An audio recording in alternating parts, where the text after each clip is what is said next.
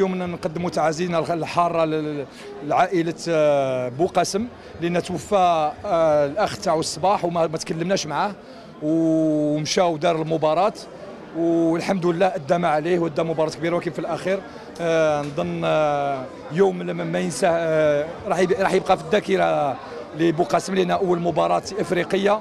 أول مباراة في الدوري الابطال زايد وفاة الأخ تاعو يعني في صبيحة المباراة ولكن كان شجاع أنا فخور به.